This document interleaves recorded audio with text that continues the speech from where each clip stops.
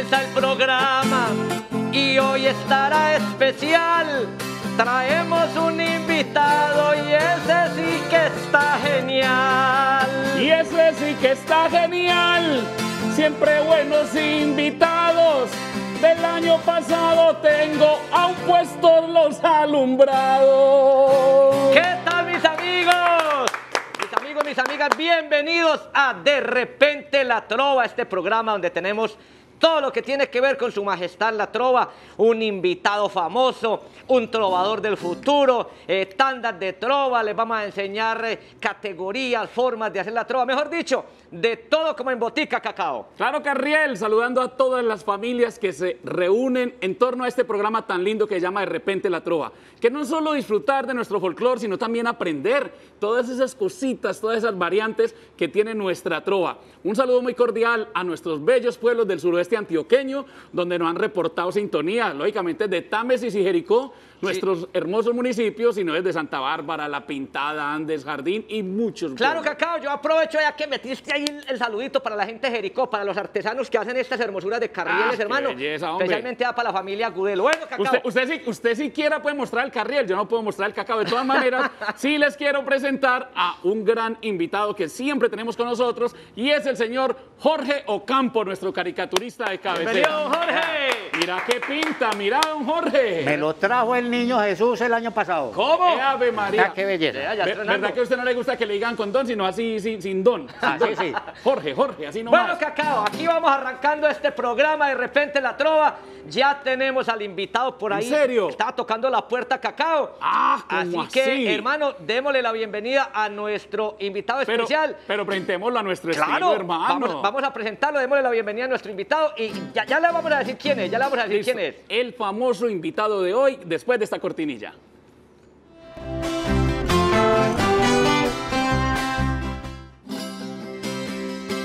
Le hablé del invitado, él me parece gracioso, pero a veces en la trova es demasiado peligroso. Y tiene bastante olfato, de tenerlo estoy feliz. Es más, hoy los invitamos y fue por una nariz. Yo ya sé de quién se trata. Bien fácil. Váyame abriendo ese plan. Y la gente ya lo vio. Bienvenido el alacrán. Alacrán, bienvenido a De repente la trova. Hombre, muchachos. Hágase allá junto a Carriel, que es menos peligroso. ¡Qué alegría! bueno, Alacrán, aquí la, la- la característica es que el invitado entra saludando con trova. Con trova, Es papá. más, defiéndase que le, le tiraron muy duro, hermano. Que me ataquen en la trova, pa' mí es común y corriente. Más primero va el saludo para los televidentes. Se me ocurre una pregunta, pues Cacao lo detalla. Cuénteme el tapabocas, ¿dónde encontró esa talla? Este tapabocas me lo hicieron como un pasacalle que evento. No, no, no, no, no, pero es que Alacrán, mi hermano, sinceramente, hoy perdió su identidad. La gente está diciendo allá, ese sí es el Alacrán. No le vemos y no el tapaboca, no se le ve la característica principal del Alacrán que... Qué rico, ¿no? Y le ponemos humor, pero mentiras. To- todo es con mucho respeto. Venga, Ala, Alacrán. ba- bájese el tapaboca un Hace un segundito. segundito el tapabocas, hermano, que es que la gente lo, Lo quiere reconocer. Lo que pasa es que el... el ¡Ay, será Alacrán! ¡Ah, COVID-19 bienvenido, Alacrán! ¡Eso! Muchachos, vean, no, lo que pasa es que el COVID-19 fue como una, como una prueba para mí, para que la gente vea si yo me opero la nariz, cómo quedaría. Pero vea, es una de las cosas bonitas, eh, tener hoy a nuestro gran invitado, gran trovador, oiga, y uno de los más reconocidos, y ojo lo que va a decir, no solo en Colombia, sino en el mundo. Porque si usted busca en internet las tandas que tienen más visitas en YouTube, las tandas de trova son las que tiene precisamente nuestro amigo el Alacrán, con otro gran amigo que queremos mucho, que es Jason Flores Loquillo. Ajá, Sí, es, señor, ahí tiene unas tandotas, mejor dicho. Yo creo que ahorita le vamos a traer alguna sorpresita al, al alacrán de, de eso, pero bueno, Pero eso es una sorpresita, no como una amenaza, que le tenemos una sorpresita, ¿no? sorpresita al alacrán. Y espere, verá papá la sorpresita que le traemos. ¿verdad, Así María? le decía uno a la mamá. Sí, una que le tengo la sorpresita. Bueno, Ala, usted, usted se ha caracterizado en muchos campos, aparte de la trova, y yo puedo decirlo porque lo conozco desde sus inicios. Si no estoy mal, la primer tanda que usted hizo como presentación fue conmigo, si no estoy mal. Si mal no me falla la memoria. Pero Así el es. alacrán siempre se ha, se ha desempeñado en diferentes, ¿cómo se puede decir? Frentes, oficios. Eh, lo conocí en una carpintería. Eh, ahora es jefe de mensajeros. Pero La- hay algo que usted hace en las redes y a mí en lo personal me encanta, se llama el anecdotario. El anecdotario, claro que sí. ¿De dónde hombre. salió esa idea, Alacrán? Ve, esa idea viene hace mucho rato rondando pues por mi cabeza, pero ahorita con el, la- la- el año pasado, con lo del, cuando empezamos en la, en la Cuarentena. cuarentena, eh, las redes sociales movieron todo y yo era muy inactivo en las redes sociales, entonces yo decía, bueno, ¿cómo aporto yo? Porque veía muchos amigos haciéndolo, ustedes mismos, y yo, y yo decía, bueno, ¿yo cómo aporto en las redes No sociales? me quiero quedar atrás. Y alguna vez eh, se me ocurrió, bueno, ¿y por qué no contamos las historias de nosotros mismos que la gente no conoce, lo que pasa en los escenarios, en los viajes, en, en tantas cosas, que la gente eso no lo ve, la gente ve las tandas que hacemos. Sabe que eso que está diciendo es muy afín con la filosofía de este programa. Por ejemplo, en este programa se busca, más que conocer al, al- al alacrán, que es el que vemos en el escenario, es también conocer el ser humano que hay detrás del alacrán. Entonces, qué rico, si más que hablarnos también de eso, es contarnos alguna anécdota. Eso, alguna, alacrán. Yo le iba a decir. yo le alguna iba de a decir, tantas. De, de- de todas esas, u- u- una muy larga porque el tiempo en televisión es muy cortico y es muy caro. Una por ahí, 45 minutos. Una, una, una que vos diga, "Ve, es- esta anécdota me pasó y me parece muy charra como para contarla acá en de repente la trova. No, es, es curioso, eh, el año antepasado, en un festival eh, que se celebra a fin de año por la época de, de Navidad, Que organiza nuestro eh, amigo, el, eh, mi líder. Me pasó algo, mi líder, me pasó algo que mucha gente se dio cuenta. Entonces, cuando yo empecé a contar el anecdotario, la gente me escribía y me decía, ¿y cuándo va a contar la caída? La. ¿Y cuándo va a soltar la suya? Suya. ¿Y cuándo- Exacto. Entonces, no, la cosa es curiosa, es simplemente que en un festival de trova, cuando me hacen la presentación, soy como el tercer trovador que presenta, cuando me hacen la presentación, yo subo y resulta que hay un hueco entre la tarima y, Y y una la mesa. escala. Sí. Y en ese momento, Victorino, que era el presentador, estaba entregando unos ponchos marcados. El regalito que él- siempre da. claro, y entonces él llega y me pone el poncho así de frente y yo dejé de mirar el piso. Y me fui con el poncho caminando así cuando yo no vi ese hueco, hermano, y pal, Desapareció el alacrán. Por ahí me fui. Y claro, como, como donde sea usted queda trancado. No, yo no, yo no me desaparezco. Da por el hueco. Rebota. Entonces, Yo no me puedo hueco porque tengo visa. Por ahí, por ahí me fui derechito y, y lo, lo charro, lo curioso, es que los muchachos que estaban arriba, me acuerdo mucho de Tizón, Tizón era, salí pues, salí pues, yo salí. Sí, yo sabía todo el sentido que había afuera esperando, hermano. Entonces yo más bien preocupé a la gente, porque al ver que no salía, entonces la gente, uy, se mató, se mató el alacrán. Yo me acuerdo de esa anécdota, hay algo muy bonito que es lo espontáneo de los trovadores. Y Vitorino que estaba presentando, la reacción inmediata cuando vemos desaparecer a Lacrán fue cuando inmediatamente dijo, ya tenemos el primer eliminado. Claro, y, es- y- con mayor razón que Alacrán no quería sal- salir, se hizo como la, la suricata, se hizo la muerto, el muerto bajo la tarima, para que pasara toda la marea y cuando se asomó, fue muy charro porque pues, apareció, aquí llegó el Alacrán, no le pasó nada.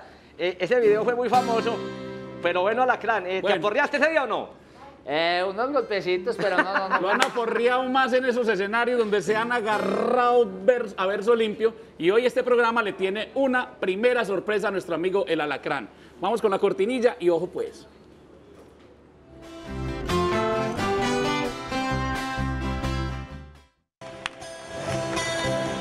Dice que no tiene moza, que nunca ha hecho esa hazaña. Me confío en Miguel, las apariencias engañan.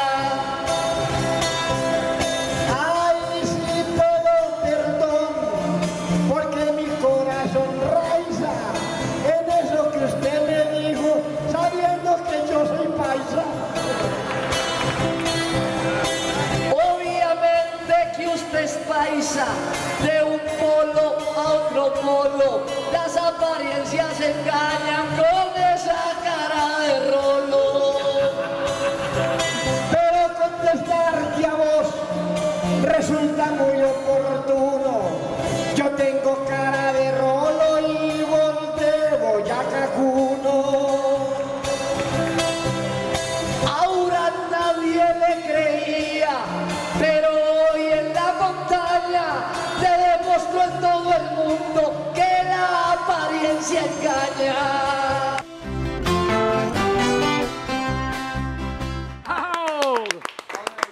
qué, Oiga, qué buen recuerdo, Alacrán. qué- qué linda sorpresa porque Miguel es uno de los trovadores que yo Todos más he querido y he admirado toda mi vida y pasó de ser mi ídolo a mi amigo, entonces lo valoro mucho. Alacrán, con todo respeto, que cuando uno le dicen con todo respeto es porque le van a faltar el respeto. Exacto, sí. Sí, sí, sí. Te ves mejor pixelado.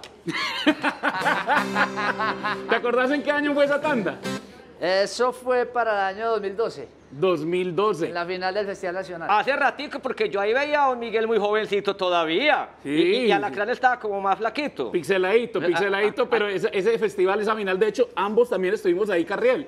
No sé si te Exacto. acordás. Ese es el único año en la historia de la trova donde se ha regalado un carro eh, eh, de premio. O sea, el que se ganara ese festival se llevaba un carro cero kilómetros. Ah, que- el año que ganó Loquillo, ¿cierto? Que se lo ganó ganó Loquillo, nuestro sí. gran amigo Loquillo. Esto Sí. es- Muy buena tanda. Trobar con Miguel Ángel, el descachado siempre será un honor, ¿no?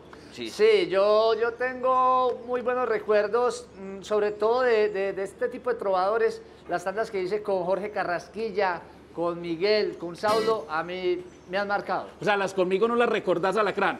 Vea, hay una cosa, Ala, y, y, y Qué es bueno que... lo- lo... que decís, Sí. bueno lo que decís y te voy a interrumpir y me, me Hágale. disculpas. Hágale. ¿Alguien, alguien podría decir, ¿por qué no mencionan las tandas con Loquillo o con Cacao? o- Fácil, porque es que con ustedes todo el tiempo he estado, con él, o sea, pasamos muy rico, sí. Qué pero es que estos, no, disculpita. pero es que estos señores, estos señores, usted ya sabe que ya son leyendas, ya no los tenemos, entonces eso lo marca uno. Alacrán en la tarima es toda una sensación y a la gente le fascina porque es el más peleón. Alacrán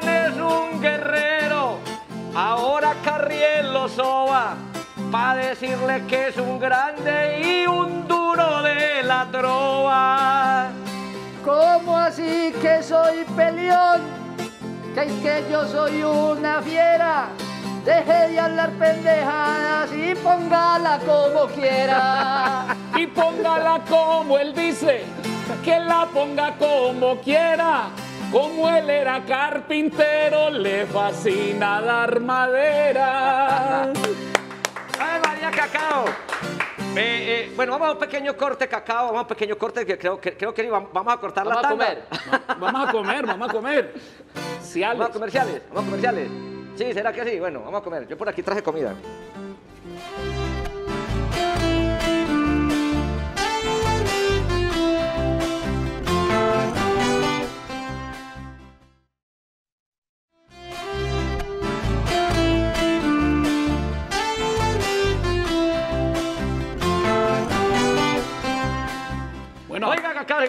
Muy bueno aquí, ¿no, no? delicioso. Aprovechando para saludar a su bella esposa, a sus hijas, a Sofía, a Ana María Y María y Paulina. María Paulina, hombre. Este, este alacrán es muy hogareño. Usted todavía hay gente que saluda a la esposa, definitivamente ese alacrán, si No, no. pero la loca, cabrón. Yo La saludé fui yo, porque, porque siempre hemos sido muy cercanos. Hace muchos años la carrera del alacrán siempre ha estado, hemos estado, nos hemos encontrado en muchos escenarios y, y en, muchos, y en muchas partes, no solamente en las tarimas, sino, por ejemplo, actualmente volvís en Santa Elena.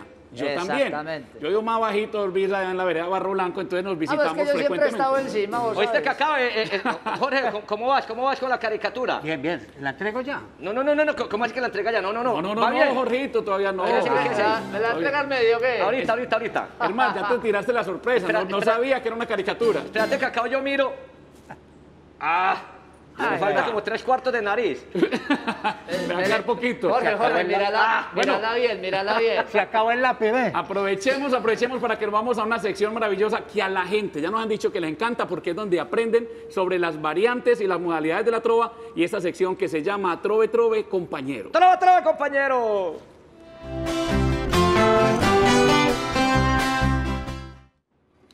Una de las variantes que se ha hecho muy popular en Colombia en los últimos años, gracias al Festival de la Trova Ciudad de Medellín, pero que ya era famosa en Cuba, en Puerto Rico y en otros países, es la variante del pie forzado.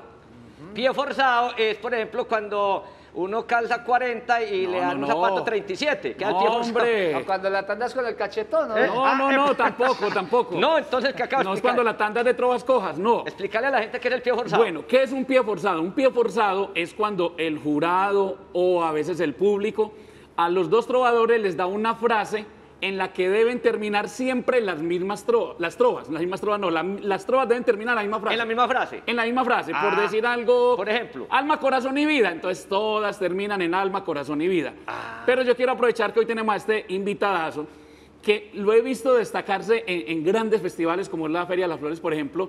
Me acuerdo por el año 2007 le pusieron uno que llamaba Exijo una explicación.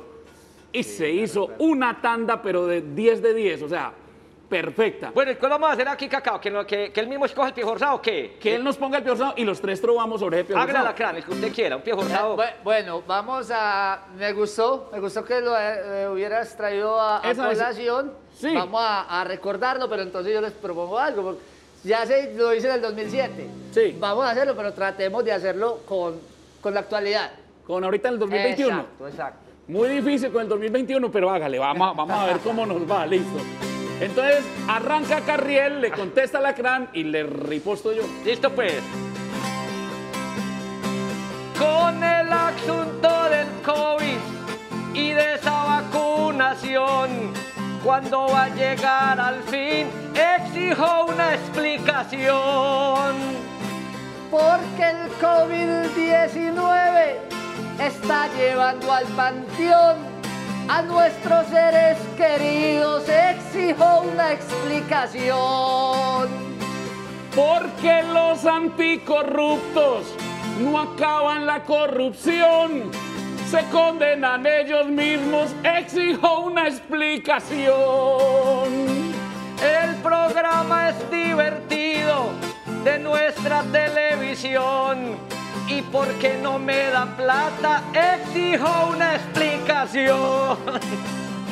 Porque si para adelgazar está la liposucción, cacao no se la ha hecho, exijo una explicación. Y para bajar la nariz ya existe la operación. Porque usted no se la hace, exijo una explicación. Mejor terminemos esto, que esto es televisión. Y esto se van agarrando, exijo una explicación. Bien, bien, bien, bien. No se podía quedar con él. no, no. Yo- y yo no me voy a quedar sin contestarle. Esto es lo mágico y lo bonito de la trova. Pero como se pueden dar cuenta, esto es lo que llamamos el famoso pie forzado. Sí, Cacao, muy, muy, muy bacano el, el pie forzado. Eh, yo creo que es una de las exi- exigencias más bacanas que, que ha salido en la trova. Sí. Eh, a muchos no les gusta, a otros como a mí, a mí me encanta el pie forzado. De hecho, me ha ido muy bien en los festivales donde hay pie forzado. Creo que a uno como trovador eso le exige un poquito más. Y yo aprovecho para darle un consejo a estos muchachos que están empezando, que sabemos que nos ven desde muchos municipios, incluso aquí en Medellín también, en cualquier lugar del mundo, que son afiebrados y que les gusta la trova. Siempre les recomiendo uno de los mejores ejercicios, de los más completos, para usted empezar a mejorar su calidad de trova, es ponerse el reto de hacer pie forzados, precisamente. Listo, Exacto. entonces ese que queda, que, que sea la- el aporte para hoy. Tócame ese tiple, Cacao. A ver, pero, pero hagámoslo un poquito más montañero, ¿o qué? Es que Hágale, pues. muy- Sí, sí, sí. Bien montañeros, pues. Suéneme el tiple cacao con tus versos ideales. A mí me da la impresión que vamos a comerciales. Sí, nos vamos a comerciales. Vamos a comerciales. Vamos a comer más.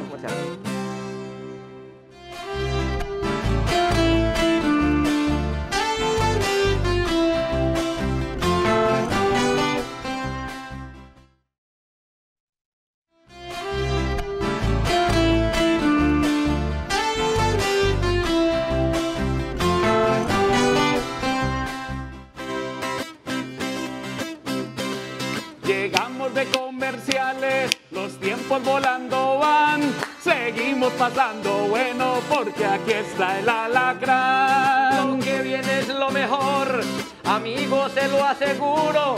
Esto a mí me fascina, el trovador del futuro. Excelente, vamos con el trovador del futuro.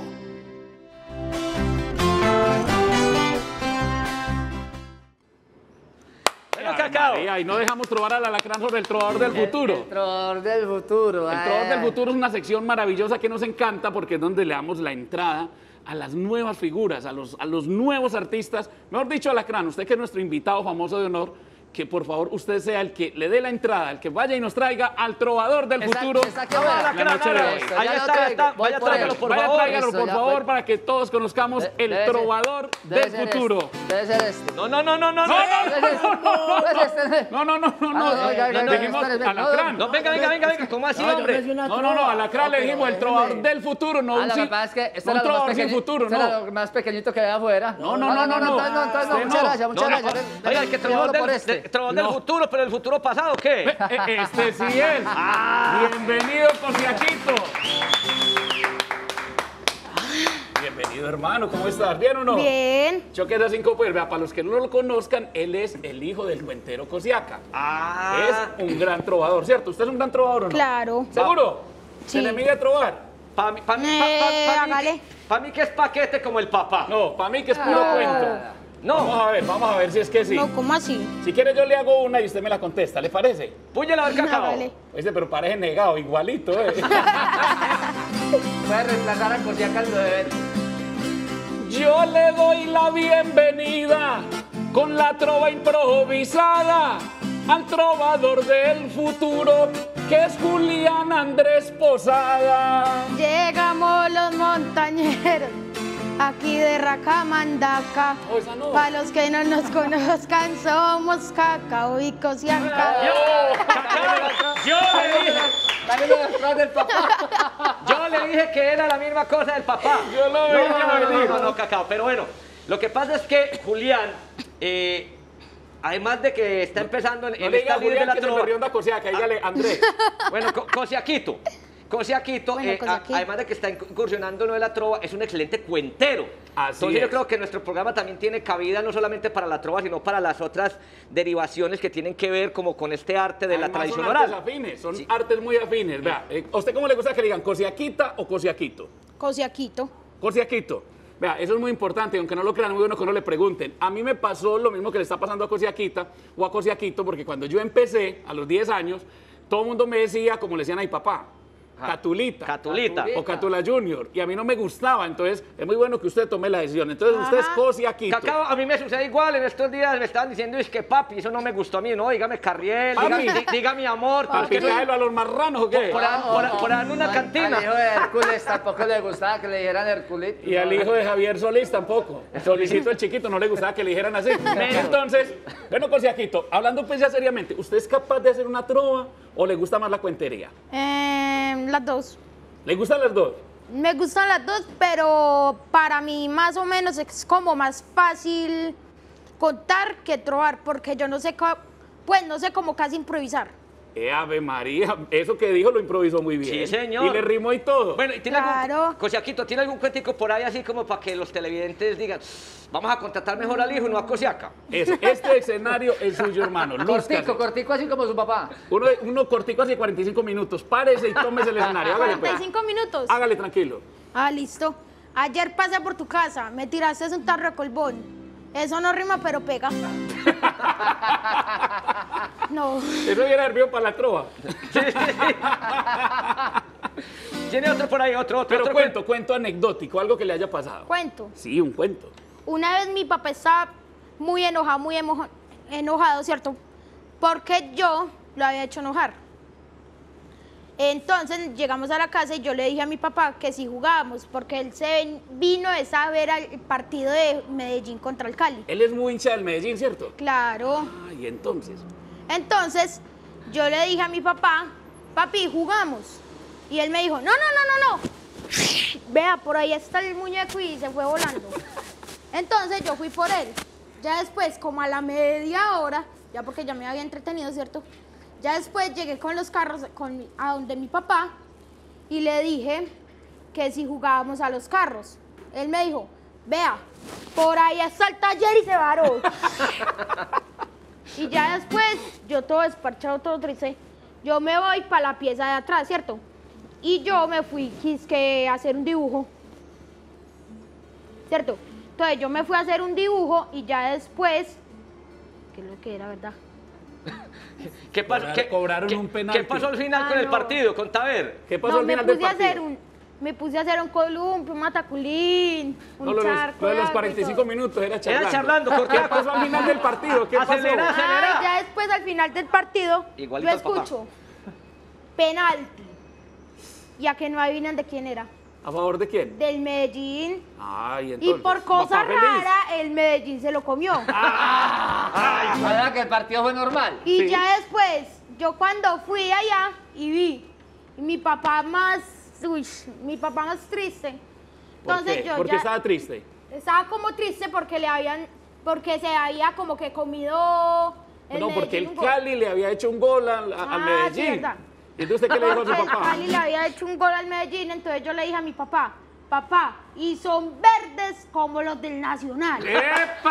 Ese día casi lo mata, hijo de madre. Bueno, señoras y señores, así vamos llegando al final. Vea, Es que esto es un ratito Ah. muy delicioso. se es un ratico, como dice Juan. Bueno, Jorge, yo quiero que le entregue, eh, usted le tiene un, rega- un regalito al alacrán. ¿Lo pudo sí, hacer o no lo pudo hacer? ¿Le, le alcanzó la cartulina o no? No, se me acabó hasta el lápiz con la nariz, pero no importa. Pero vea, hoy, hoy es, eh, el cosiaquito sí es muy de buenas. Hoy, hoy también hay regalo para nuestro cosiaquito. Sí. Sí, señor. A ver, yo veo. De repente la trova le tiene, vea, mi hermano. Ah. Para que siga hablando de Ay, qué fútbol. detallón. Y otro detallito que le tiene el programa De repente la trova. Bueno, alacrán. Ahora a ver, Eh, pero la Navidad no pasó ya, pues. ala, Eh. quite la mascarilla un segundito para que a ver. Ay, Dios mío. A ver, don Jorge, entréguele la, a Yo ya me pinté este amigo y lo pinté sin afán. Espero que no me apique este bendito alacrán. Mostralo, mostralo. ¿Cómo quedó? Aquí les muestro el dibujo que me hizo este artista. Yo aplaudo y felicito al caricaturista. amigos! Aquí terminamos de repente la traba. ¡Chao! ¡Uh! ¿Qué detalle?